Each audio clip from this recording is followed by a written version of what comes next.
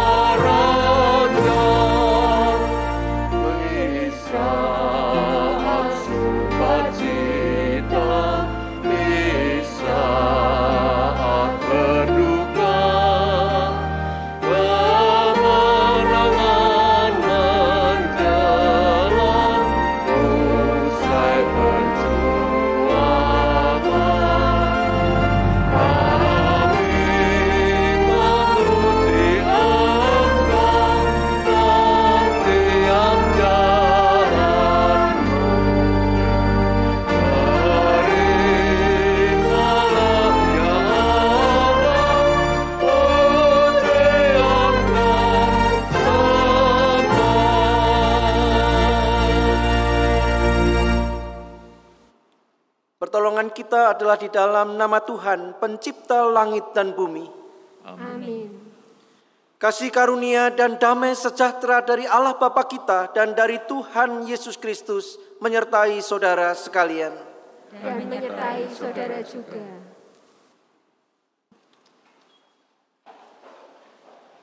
Selamat pagi Bapak Ibu Saudara yang dikasih Tuhan.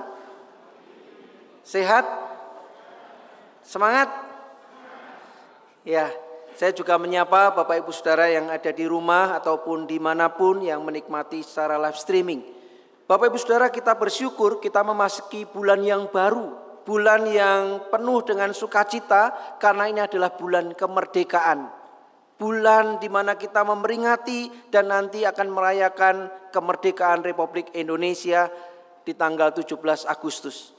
Hari ini juga menjadi hari yang istimewa Bapak Ibu Saudara karena kita diundang semeja dengan Tuhan. Kita merayakan perjamuan kudus. Pagi tadi jam 6 Bapak Ibu Saudara ada pelantikan organ Yayasan Panti Asuhan Kristen Unike. Lengkap memulai bulan yang baru dengan kasih dan anugerah Tuhan yang baru. Bapak Ibu Saudara, tema kita hari ini adalah gereja turut mencerdaskan bangsa. Oleh karena itu mari kita perhatikan surat 1 Petrus pasal 2 ayat 15 sampai 17 demikian. Sebab inilah kehendak Allah yaitu supaya dengan berbuat baik kamu membungkamkan kepicikan orang-orang yang bodoh. Hiduplah sebagai orang merdeka dan bukan seperti mereka yang menyalahgunakan kemerdekaan itu untuk menyelubungi kejahatan-kejahatan mereka. Tetapi hiduplah sebagai hamba Allah. Hormatilah semua orang, kasihlah saudara-saudaramu, takutlah akan Allah dan hormatilah raja. Bapak Ibu Saudara yang dikasih Tuhan, kita semua sebagai gereja baik komunitas ataupun pribadi, dipanggil Bapak Ibu Saudara dalam suasana kemerdekaan kita untuk tidak menyalahkan kemerdekaan itu untuk hal-hal yang jahat. Namun kita dipanggil untuk berbuat baik. Kita dipanggil untuk menjadi hamba-hamba Tuhan. Bapak Ibu Saudara, jikalau kita diingatkan bagaimana hidup kita untuk berbuat baik, bagaimana hidup kita sebagai hamba-hamba Tuhan. Apakah itu sudah kita lakukan dalam keseharian hidup kita? Bagaimana ketika kita berelasi? Bagaimana ketika kita ada di tempat kerja? Bagaimana ketika kita bermasyarakat? Apakah kita sungguh-sungguh hadir sebagai hamba-hamba Tuhan yang mendatangkan kebaikan, damai, sejahtera, dan juga persaudaraan dan kehangatan persahabatan di tengah keseharian hidup kita. Bapak Ibu Saudara yang dikasih Tuhan, mari kita datang di hadapan Tuhan. Kita mengakui setiap kegagalan kita, kita mengakui setiap pelanggaran kita, dan kiranya Tuhan memberikan kita pengampunan, memulihkan dan mentahirkan setiap kita. Saya memberikan kesempatan bagi Bapak Ibu Saudara berdoa secara pribadi. Mari kita berdoa.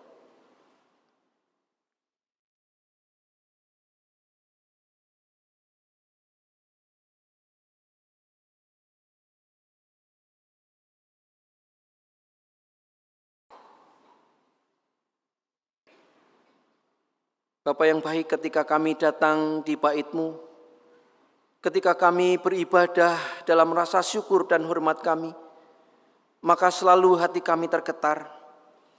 Hati kami mengucap syukur yang besar, karena kami tahu Tuhan hari-hari kehidupan yang tidak mudah yang kami jalani, sepenuhnya hanya karena kasih kemurahan Allah. Bahkan Tuhan kami boleh hadir, kami boleh ada di Ibu Pertiwi, negeri Indonesia yang kami cintai ini. Kami tahu Tuhan ketika Engkau meletakkan kami, Engkau mengizinkan kami berada di negeri yang indah ini, sesungguhnya ada peran, ada sesuatu yang perlu dan harus kami lakukan.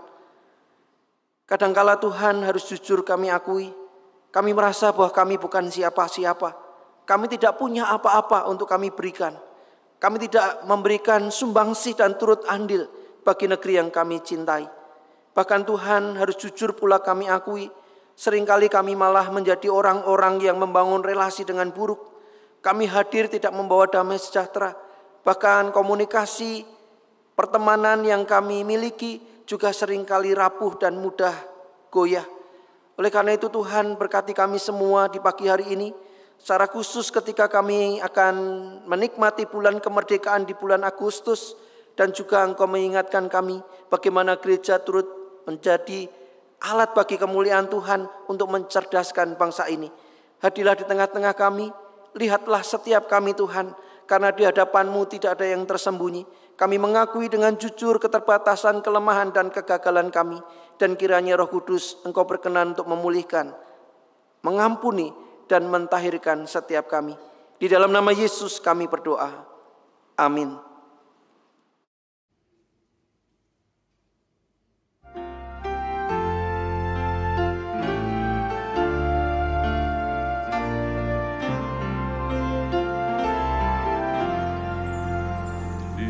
서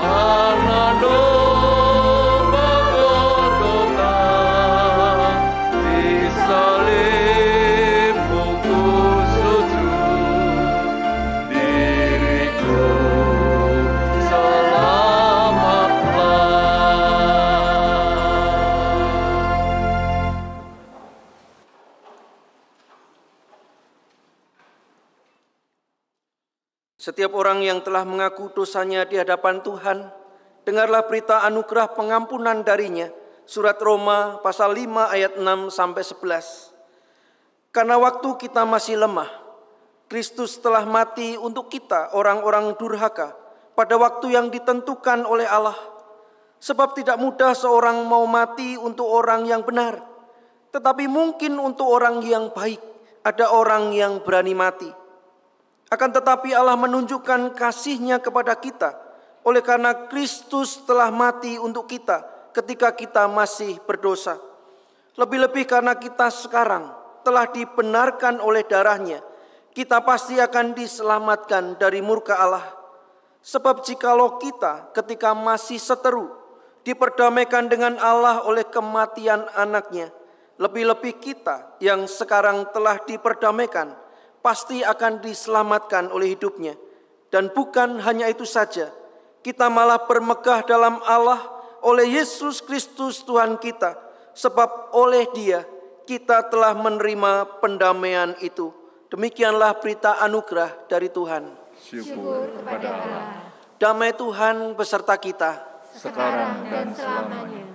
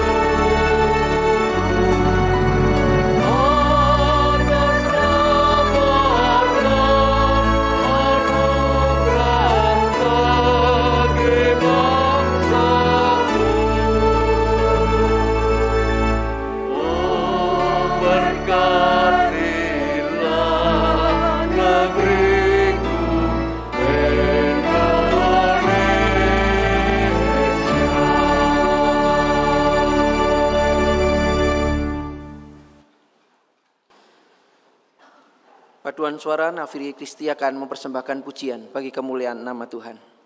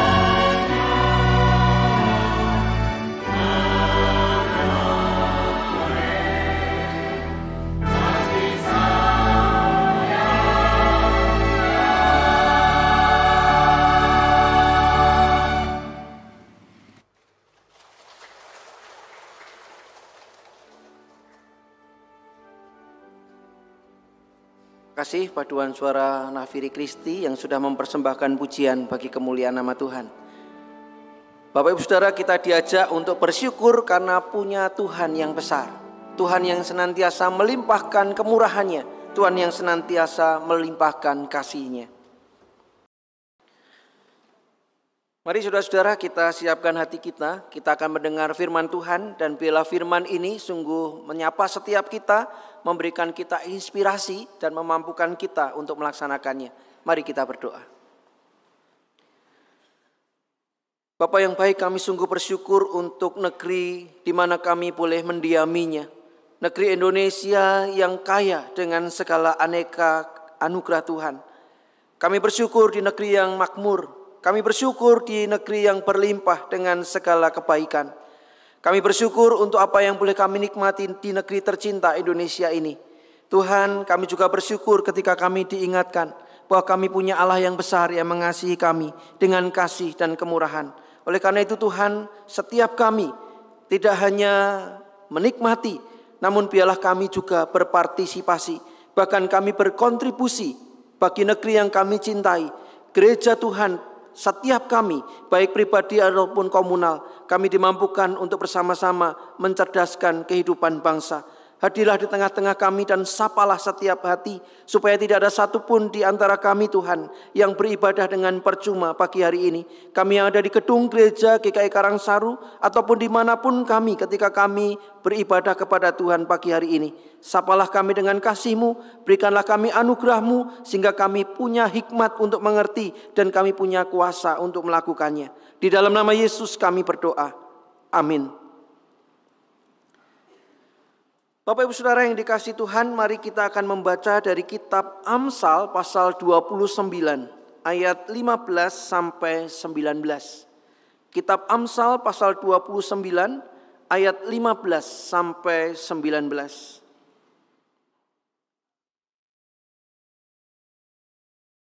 Saya akan membacakan untuk kita semua demikian firman-Nya.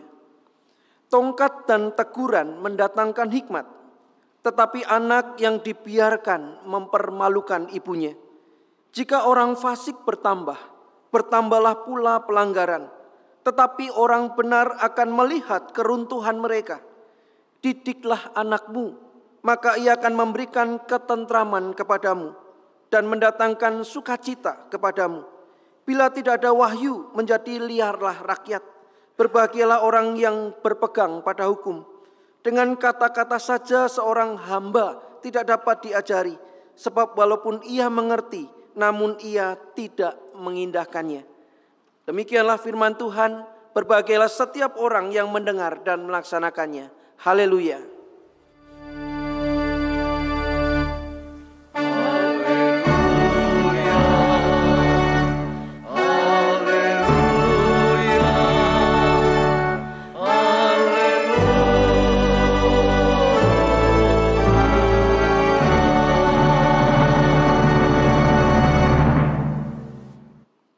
Bapak Ibu Saudara yang dikasih Tuhan ketika berbicara tentang mencerdaskan kehidupan bangsa.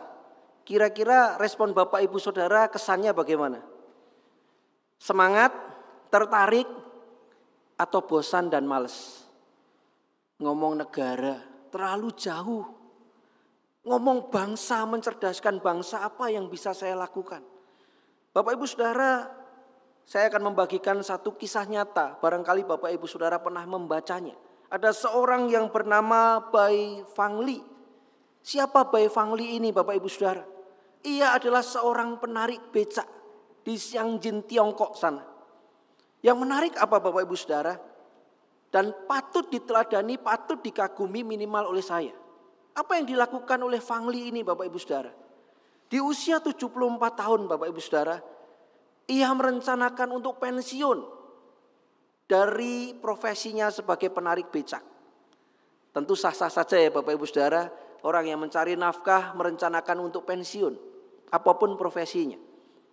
74 tahun ia berhenti dari pekerjaannya dan ia memang mengumpulkan Bapak Ibu Saudara untuk hari esok, untuk hari tuanya. Ia mengumpulkan sedikit demi sedikit dan terkumpul 5000 yuan pada saat dia memutuskan untuk berhenti menarik becak. Kira-kira hampir 11 juta kalau dikuruskan sekarang. Ketika ia pulang Bapak Ibu Saudara ke daerahnya, apa yang ia temukan? Ia menemukan banyak anak-anak kecil Bapak Ibu Saudara yang seusia sekolah, ternyata mereka tidak sekolah. Anak-anak yang masih sangat kecil, anak-anak yang sangat muda itu harus bekerja membanting tulang untuk mendapatkan uang Bapak Ibu Saudara. Dan ketika ia melihat keadaan seperti itu, hatinya tergerak Bapak Ibu Saudara. Uang 5000 yuan yang dimaksudkan untuk pensiun itu, ia serahkan sepenuhnya ke sebuah yayasan yang memiliki sekolah. Dan uang itu Bapak Ibu Saudara ia berikan supaya anak-anak yang tidak mampu sekolah ini bisa masuk ke sekolah itu dan dia berusaha untuk membiayainya. Usia 74 tahun Bapak Ibu Saudara ia kembali melakukan profesinya sebagai penarik becak. Di usia 90 tahun Bapak Ibu Saudara. Ia datang ke yayasan itu dan ia katakan begini. Saya sudah tidak dapat mengayuh becak lagi. Saya tidak dapat menyumbang lagi. Ini mungkin uang terakhir yang dapat saya sumbangkan.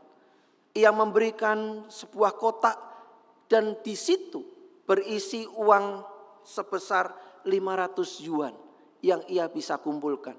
Kira-kira satu juta. Ia serahkan itu Bapak Ibu Saudara dan ia memberikan pernyataan bahwa barangkali ini adalah sumbangan saya yang terakhir. Bapak Ibu Saudara kalau Bapak Ibu Saudara berjumpa dengan orang yang seperti ini. Seandainya Bapak Ibu Saudara menemui orang yang dengan tulus hati dan berjiwa emas seperti ini usia 90 tahun masih berpikir bagi orang lain dan ketika ia merasa tidak mampu ia menyerahkan apa yang terakhir yang dia bisa kumpulkan. Bapak Ibu, guru-guru di sekolah itu terharu dan mereka menangis. Usia 93 tahun Bapak Ibu Saudara, Bai Fang Li meninggal dunia. Sekalipun begitu, dia telah menyumbangkan di sepanjang hidupnya uang sebesar 350 ribu yuan atau kalau dikuruskan sekitar 773 773 juta 500 ribu rupiah.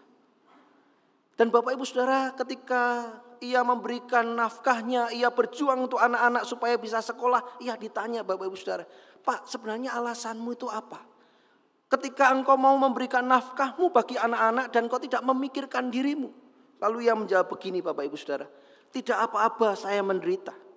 Yang penting biarlah anak-anak itu dapat makan. Yang layak dan dapat bersekolah. Dan saya bahagia melakukan semua ini.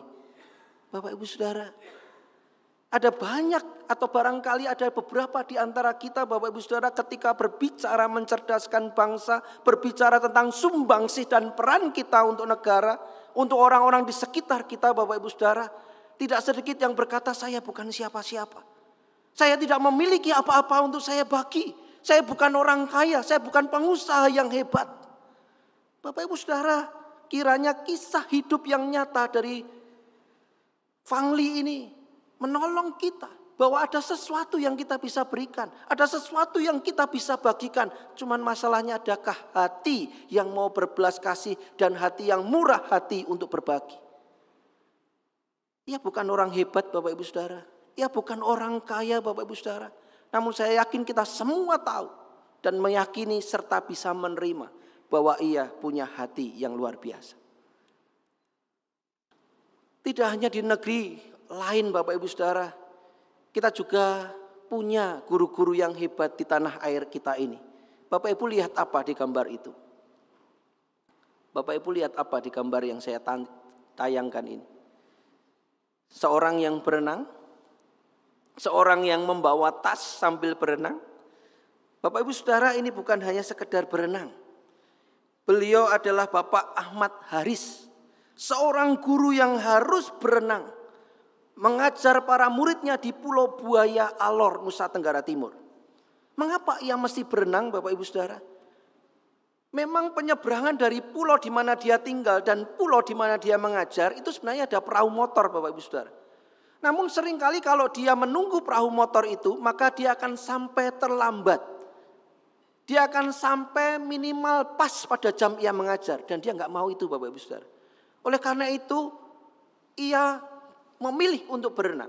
Ditambah lagi Bapak Ibu Saudara, sering kali meskipun ada perahu motor, perahu motor itu tidak selalu jalan. Karena ketika cuaca tidak bersahabat dan ombak tinggi, perahu motornya nggak jalan Bapak Ibu Saudara. Ia memilih untuk berenang. Ia angkat tangan satunya Bapak Ibu Saudara dan dia berenang dengan tangan yang satu. Bawa tas supaya tasnya nggak basah. Bapak Ibu Saudara yang dikasih Tuhan.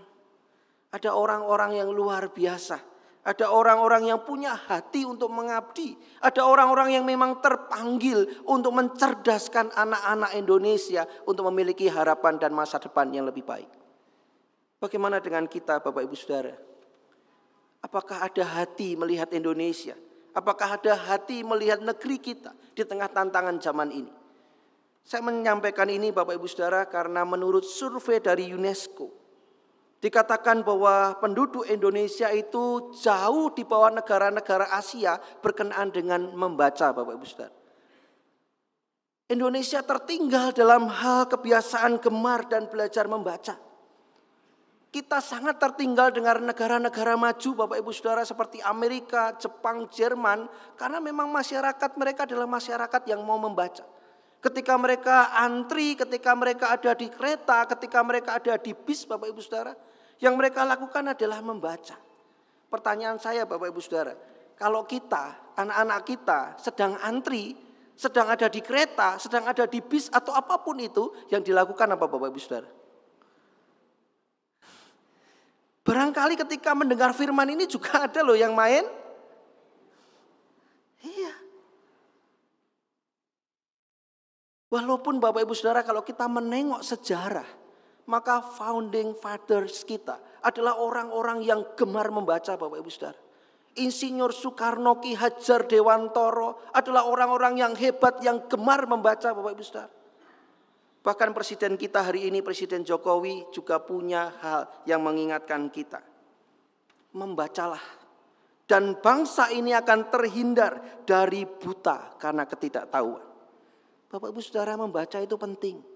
Apalagi ketika kita punya semangat, kita punya hati untuk mencerdaskan anak-anak kita. Karena inilah yang sebenarnya mau disampaikan firman Tuhan pada hari ini melalui penulis Amsal. Kalau kita membaca kitab Amsal 29 Bapak Ibu Saudara ayat 15 sampai 19 yang kita tadi baca, kita cermati Penulis Amsal dengan jelas, dengan cermat Bapak Ibu Saudara, menyatakan bahwa mendidik anak-anak itu persoalan yang penting. Mendidik anak-anak itu persoalan yang mendasar. Mendidik anak-anak itu persoalan yang krusial. Ia katakan kalau seandainya anak yang dibiarkan akan mempermalukan ibunya Bapak Ibu Saudara.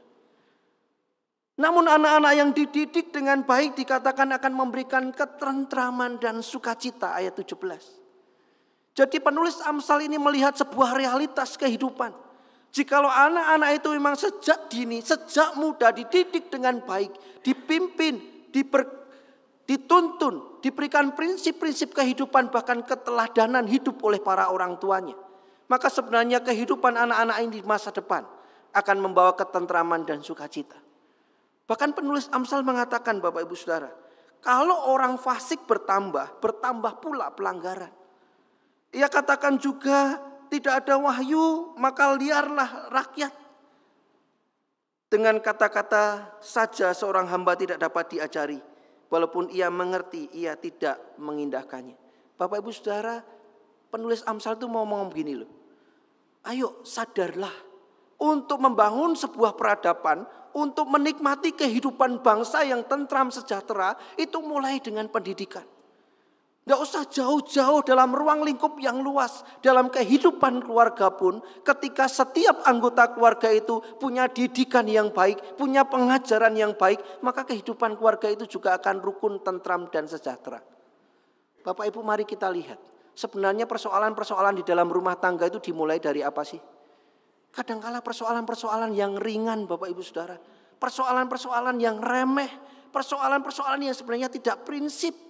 Tetapi karena diwarnai emosi Bapak Ibu Saudara.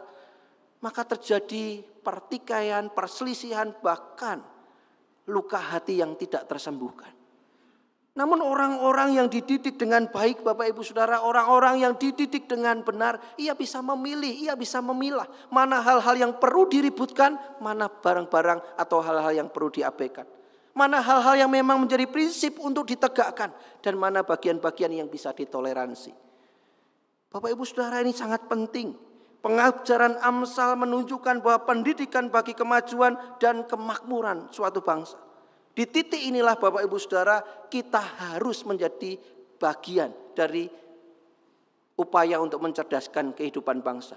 Gereja dipanggil untuk tidak hanya diam. Gereja tidak hanya berkutat dengan pelayanan-pelayanan di dalam gedung gereja. Tetapi bagaimana gereja tetap menyatakan kasih Allah. Bahkan gereja turut ambil bagian berperan serta aktif mencerdaskan kehidupan bangsa demi negara bangsa Indonesia yang lebih maju, makmur, adil, dan sejahtera. Lalu pertanyaannya bagi Bapak Ibu Saudara, bagaimana sih supaya kita ini gereja baik pribadi ataupun komunal turut mencerdaskan kehidupan bangsa. Yang pertama Bapak Ibu Saudara tentu berbicara tentang pendidikan karakter. Inilah yang diupayakan di negeri tercinta kita, pendidikan karakter, budi pengerti yang luhur, budi pengerti yang baik. Dan ketika berbicara tentang pendidikan karakter Bapak Ibu Saudara, sebenarnya inilah makanan sehari-hari kita. Inilah yang dilakukan gereja dari zaman ke zaman. Bagaimana membangun, bagaimana menghadirkan, bagaimana anggota jemaat gereja itu hadir sebagai pribadi-pribadi yang berkarakter Kristus. Karakter Kristus itulah yang menjadi teladan.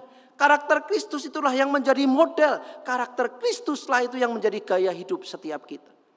Dan kalau itu benar terjadi Bapak Ibu Saudara, maka anggota jemaat simpatisan secara khusus GKI Karangsaru akan hadir pribadi-pribadi yang penuh cinta kasih. Akan hadir pribadi-pribadi yang rendah hati, akan hadir pribadi-pribadi yang bertanggung jawab, akan hadir pribadi-pribadi yang punya integritas, kedisiplinan dan tanggung jawab. Inilah yang memang gereja lakukan.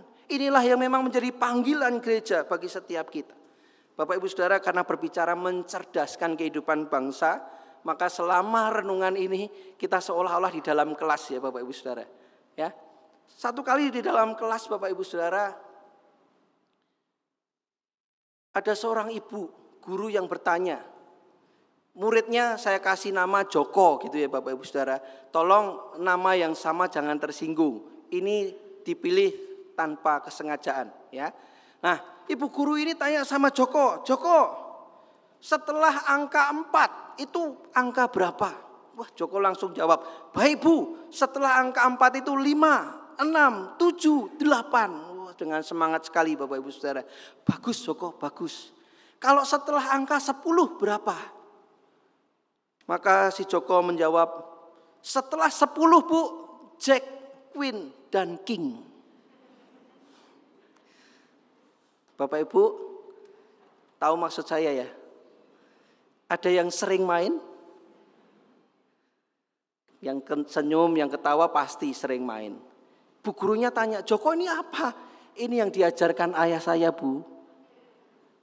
Bapak ibu saudara pendidikan karakter itu tidak hanya sekedar disampaikan. Tidak hanya sekedar diajarkan. Namun bagaimana juga diberlakukan dalam keseharian hidup kita. Baik kita sebagai keluarga ataupun sebagai gereja. Bapak ibu saudara saya itu kadang prihatin ya. Terus terang ini menjadi pergumulan hati saya. Kalau perlu nanti Bapak Ibu Saudara boleh menulis kuesioner gitu ya. Sebenarnya dalam kehidupan yang tidak mudah ini Bapak Ibu Saudara, apakah gereja berdampak bagi kehidupan Bapak Ibu pribadi ataupun keluarga? Apakah renungan-renungan khotbah yang disampaikan itu membuat kita menjadi orang-orang yang berani berbeda dengan dunia Bapak Ibu Saudara? Atau hanya kita datang karena ini rutinitas, kita datang hanya karena kewajiban, kita datang supaya kita diberkati. Karena kalau tidak datang kita akan mengalami hidup yang semakin susah. Bapak Ibu semoga tidak itu yang menjadi pemikiran kita. Bahwa memang kita hadir di gereja supaya kita terus dipoles oleh Tuhan, kita terus dibentuk oleh Tuhan, bahkan kita dimampukan untuk hadir sebagai orang-orang yang membawa karakter Kristus di tengah dunia. Ada sebuah pepatah yang bagus Bapak Ibu Saudara. We first make our habits, then our habits make us. Bapak Ibu Saudara, bukankah memang ini kenyataannya? Bapak Ibu Saudara yang membentuk diri Bapak Ibu sendiri. Misalnya contoh bangun. Mau bangun jam berapa? Jam 4, jam 5, jam 10, jam 11 siang. Bapak Ibu sendiri yang memulainya. Saya bangun jam berapa? Bapak Ibu sendiri juga yang memulai kapan saya mulai tidur. Jam 10 malam, jam 11 malam, atau jam 2, jam 3, jam 4 pagi baru tidur. Bapak Ibu Saudara kita memulai segala sesuatu. Ya kita memilih itu. Dan Bapak Ibu Saudara perhatikan, jikalau pilihan-pilihan itu tidak kita waspadai, kita tidak jaga, kita tidak beri pengaruh yang benar Bapak Ibu Saudara, maka pilihan-pilihan itu akan membentuk diri kita. Kalau biasanya bangun jam 10, jam 11 siang, suruh bangun jam 5, suruh bangun jam 6 pagi Bapak Ibu Saudara, susah setengah mati. Betul? Apa yang kita mulai Bapak Ibu Saudara, kiranya adalah hal-hal yang benar hal-hal yang sesuai dengan kehendak Allah dan kita juga mau tularkan itu kepada anak-anak kita. Bukan hanya anak kandung Bapak Ibu Saudara, tapi setiap anak yang ada di sekitar kita. Biarlah melihat contoh dan gaya hidup yang baik dari diri kita. Pak, sudah terlambat. Anak saya sudah remaja, sudah ada yang pemuda, Pak. Diajak ngomong sekarang sulit.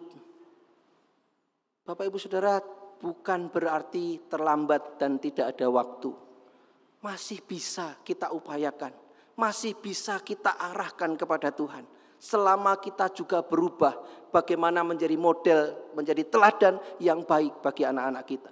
Pendidikan karakter itu penting dan ayat 15 17 dari kitab Amsal ini menunjukkan betapa pentingnya kita mendidik anak-anak kita dan memberi contoh kehidupan yang baik. Lalu yang kedua Bapak Ibu Saudara peran serta kita adalah membangun sumber daya manusia yang unggul.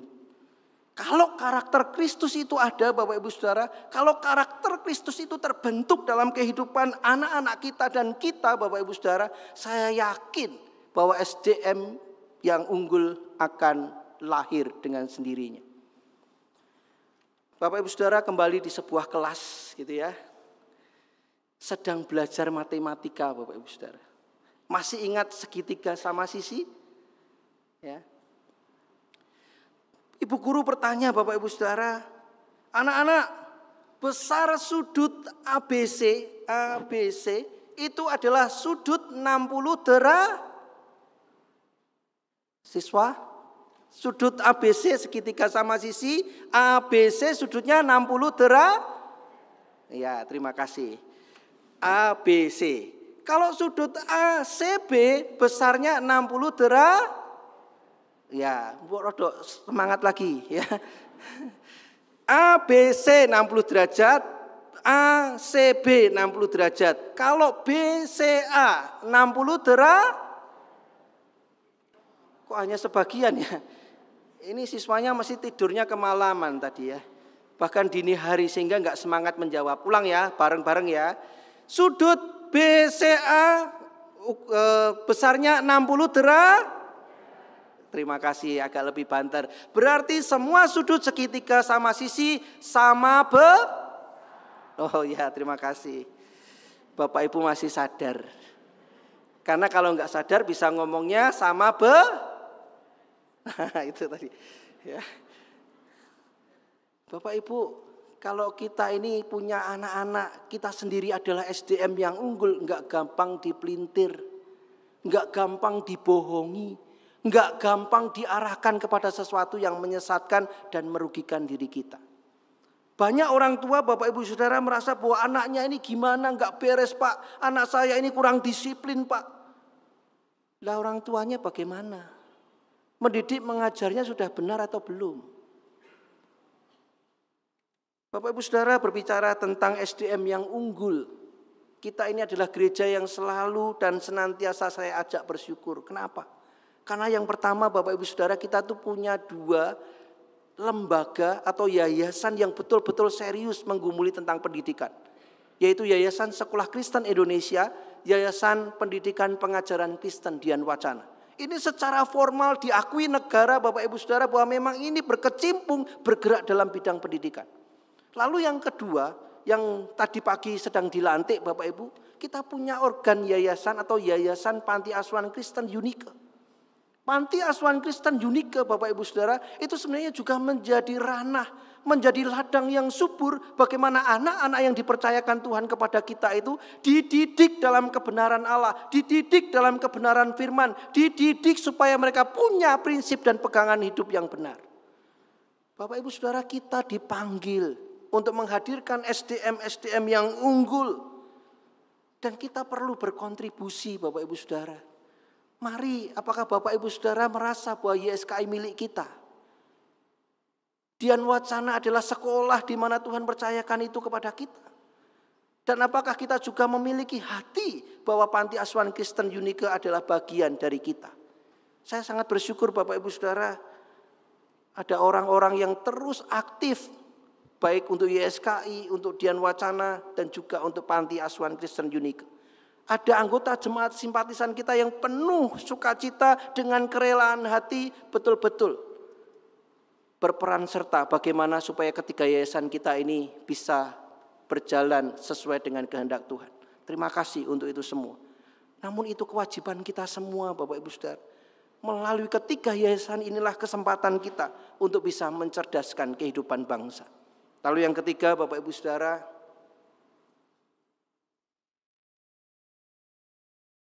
mengarahkan dan mengerahkan umat. Ini tugas gereja Bapak Ibu Saudara. Kita perlu bersama-sama menuju satu tujuan yang sama.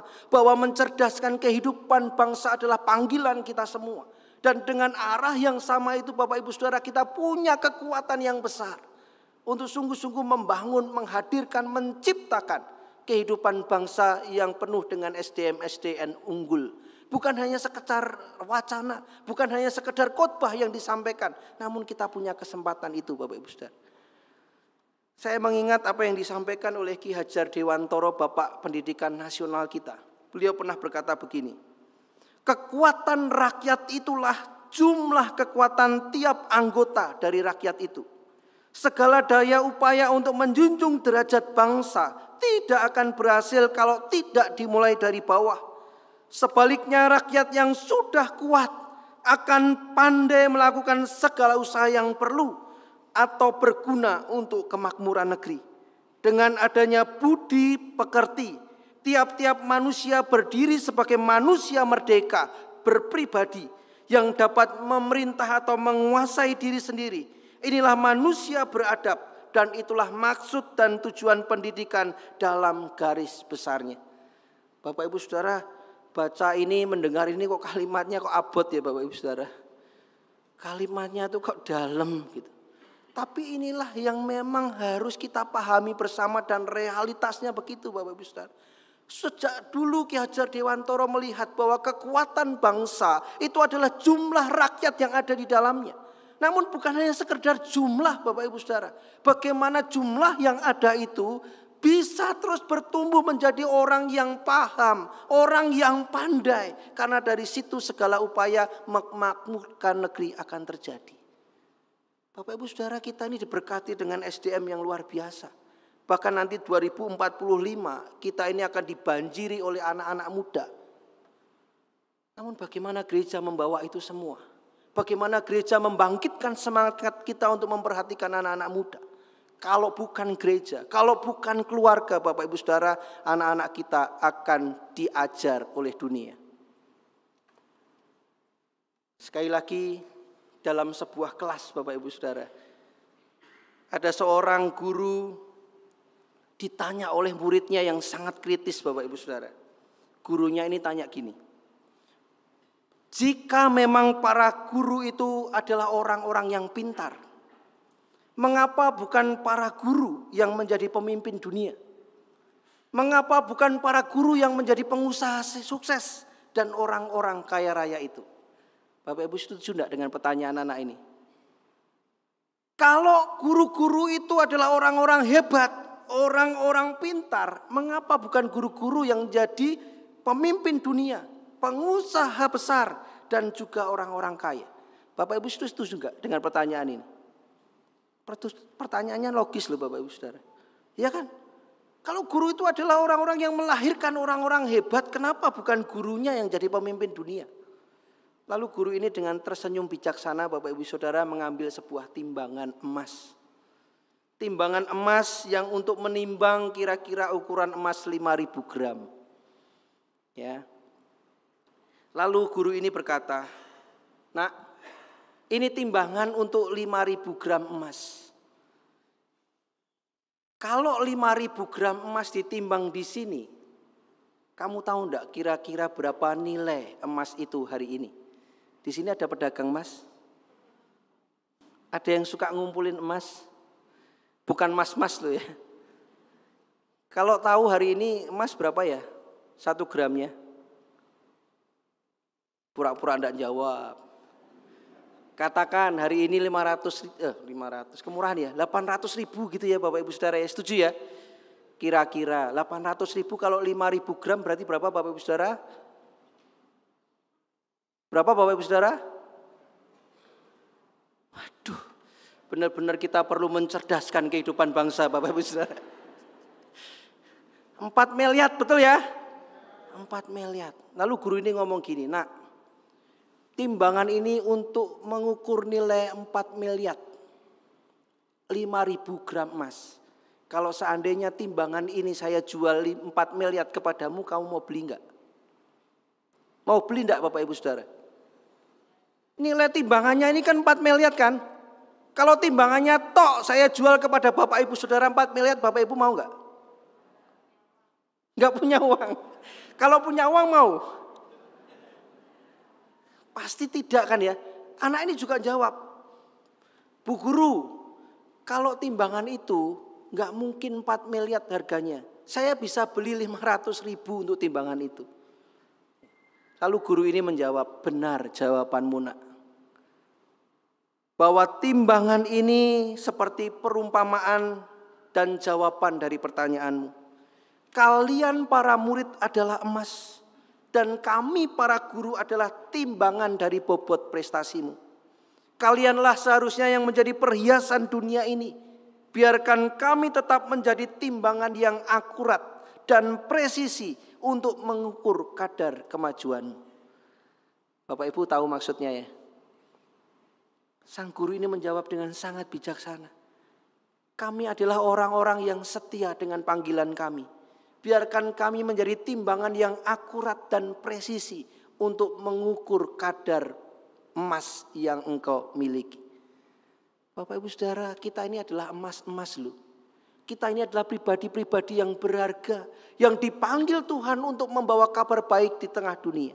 Untuk memberikan kabar baik, untuk memberikan damai sejahtera, untuk memberikan pertolongan, bahkan di tengah tantangan zaman hari ini. Saya mau akhiri Bapak Ibu Saudara, dengan apa yang disampaikan oleh R.A. Kartini. Beliau juga berkata, sekolah-sekolah saja tidak dapat memajukan masyarakat. Tetapi juga keluarga di rumah harus turut bekerja. Lebih-lebih dari rumahlah kekuatan mendidik itu harus berasal. Bapak ibu saudara, nggak cukup hanya sekolah. Rumah itu loh awal setiap manusia untuk dicerdaskan. Bukan hanya rumah Bapak Ibu Saudara, gereja menjadi bagian mencerdaskan kehidupan bangsa. Amin. Mari kita tenang di hadapan Tuhan. Seringkali Bapak Ibu Saudara ketika berbicara negara, kita merasa bahwa kita tidak punya, tidak punya kontribusi apa-apa. Tidak ada keahlian apa pun yang kita bisa berikan untuk memajukan negeri ini. Saya bukan siapa-siapa. Namun Bapak Ibu Saudara bila melalui renungan ini, setiap kita adalah emas yang berharga. Setiap kita diberikan talenta dan karunia oleh Tuhan.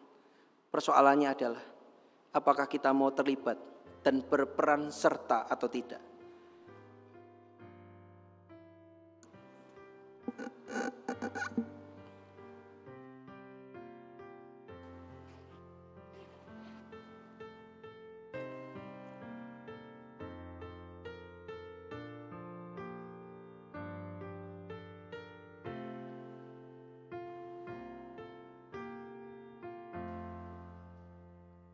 Marilah dengan bangkit berdiri.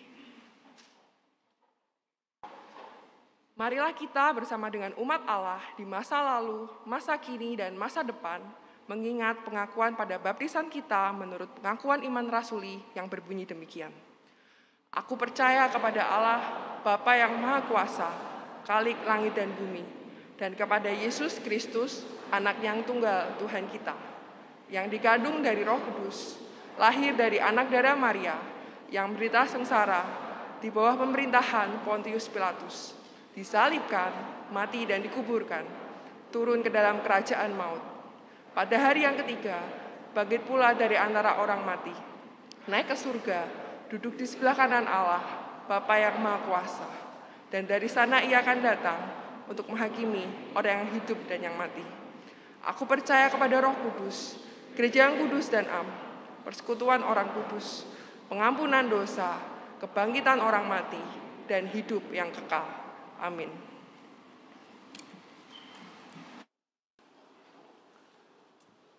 Bapak Ibu Saudara sebelum kita menaikkan doa syafaat perlu disampaikan bahwa kelas katekisasi untuk yang tidak seasas katekisasi khusus sudah mulai diadakan hari ini nanti jam setengah tujuh malam. Jadi Bapak Ibu Saudara yang masih simpatisan, yang datang ke GKI Karangsaru dan memantapkan hati menjadi anggota jemaat GKI Karangsaru, mari untuk bisa mengikuti kelas katekisasi. Lalu yang kedua adalah kelas katekisasi untuk lansia. Jadi Bapak Ibu Saudara tentu cara menyampaikan dan materinya akan berbeda. Bapak Ibu Saudara yang lanjut usia, tolong kalau memang punya hati dan kerinduan untuk sungguh-sungguh hidup sebagai anak-anak Tuhan, murid-murid Kristus, menyatakan iman percaya, bisa mengikuti kelas katekisasi lansia tiap hari Jumat mulai jam 8 pagi. Mari Bapak Ibu Saudara kita datang di hadapan Tuhan menaikkan doa syafaat kita. Mari kita berdoa. Bapak kami bersyukur untuk kasih setiamu yang tak pernah berkesudahan. Di tengah segala kesulitan hidup tantangan dan apa pun yang menjadi beban kami, biarlah perayaan perjamuan kudus mengingatkan kami bahwa Engkau Tuhan hadir sebagai manusia. Engkau memberikan nyawamu untuk menebus kami dari dosa. Ada pengharapan, ada masa depan di dalam Tuhan. Oleh karena itu mampukan kami terus menapaki hari-hari kehidupan yang Tuhan percayakan kepada kami dengan penuh sukacita, dengan penuh semangat, dengan penuh kasih, iman, dan pengharapan. Kami berdoa untuk saudara-saudara kami yang sedang bergumul dengan kesehatan mereka.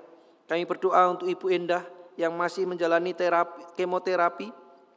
Untuk saudara-saudara kami yang terbaring lemah di tempat tidur mereka, yang rawat jalan, tolong Tuhan kau berkati. Sehingga dalam segala kelemahan yang ada mereka tetap kuat di dalam Tuhan.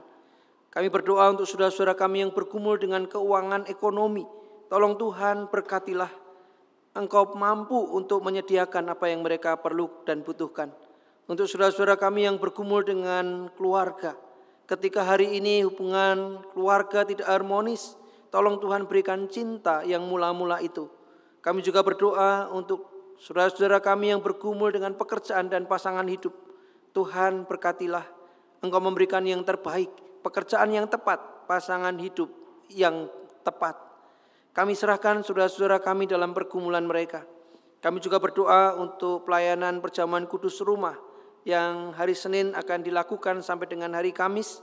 Bila Tuhan yang memberkati. Saudara-saudara kami yang selama ini tidak bisa ke gereja karena kelemahan tubuh, boleh disapa dan disegarkan oleh Tuhan. Kami juga berdoa Tuhan untuk gereja kami dengan segala kegiatan yang ada, Tuhan yang akan terus pakai supaya kami memberi sumbangsih memberikan peran serta untuk kecerdasan bangsa. Kami bersyukur untuk negeri kami, kami mohon untuk setiap tantangan yang ada, krisis pangan, krisis energi, dan resesi global. Kiranya Tuhan tetap memberikan pertolongan, perlindungan, sehingga negeri kami tetap aman. Berkati Presiden Jokowi, Kiai Haji Maruf Amin, beserta dengan Kabinet Indonesia Maju, pemerintah pusat sampai daerah TNI Polri, kami semua sebagai warga bangsa, bersatu padu untuk negeri kami yang kami cintai Indonesia. Terima kasih Tuhan ini doa kami yang kami naikkan di dalam nama Yesus Tuhan yang mengajar kami berdoa. Bapa kami yang di surga, dikuduskanlah namamu, datanglah kerajaanmu, jadilah kehendakmu di bumi seperti di surga. Berikanlah kami pada hari ini makanan kami yang secukupnya, Dan ampunilah kami seperti kami juga mengampuni orang yang bersalah kepada kami. Dan janganlah membawa kami ke dalam pencobaan. Tetapi lepaskanlah kami daripada yang jahat. Karena engkaulah yang punya kerajaan dan kuasa dan kemuliaan sampai selama-lamanya. Amin. Umat Tuhan, kasih setia Tuhan bagi kita umatnya tidak pernah berubah. Marilah kita bersyukur atas kasih setianya. Pemazmur dalam Mazmur 106 ayat 1 berseru, Haleluya, bersyukurlah kepada Tuhan sebab ia baik, bahwasanya untuk selama-lamanya kasih setianya. Persembahan syukur dapat diberikan dengan scan QRIS GKI Karangsaru berikut ini, atau untuk memudahkan umat yang hendak memberikan persembahan melalui QRIS, maka di setiap sudut kanan atas kursi umat telah ditempelkan stiker QRIS. Juga dengan memasukkan ke kotak persembahan yang ada di pintu gereja dan pelataran gedung Maranatha, juga melalui rekening GKI Karangsaru Semarang. Marilah kita bawa kepada Tuhan persembahan syukur yang telah kita persiapkan. Kita berdoa. Selamat pagi Tuhan, kami sungguh bersyukur atas setiap berkat yang telah Engkau berikan kepada kami. Engkau telah cukupkan hari-hari kami Tuhan. Dan saat ini kami membawa ucapan syukur kami ini Tuhan, kiranya persembahan kami ini dapat berguna untuk kelebaran dan kemuliaan namamu saja Tuhan. Doa ucapan syukur ini kami naikkan melalui putramu yang tunggal Tuhan Yesus Kristus. Amin. Jemaat dimohon bangkit berdiri.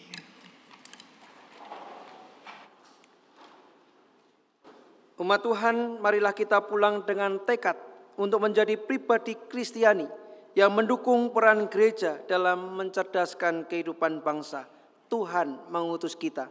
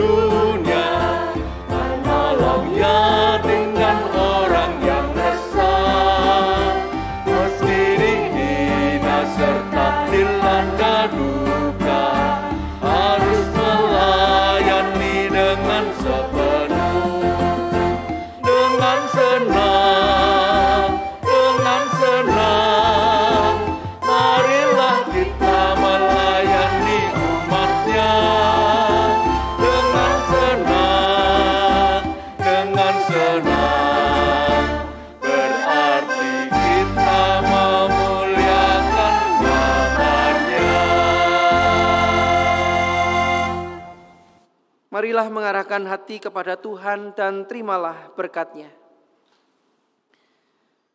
Diberkatilah orang yang mengandalkan Tuhan, yang menaruh harapannya pada Tuhan. Ia akan seperti pohon yang ditanam di tepi air, yang merambatkan akar-akarnya ke tepi batang air, dan yang tidak mengalami datangnya panas terik, yang daunnya tetap hijau, yang tidak khawatir dalam tahun kering, dan yang tidak berhenti menghasilkan buah. Amin.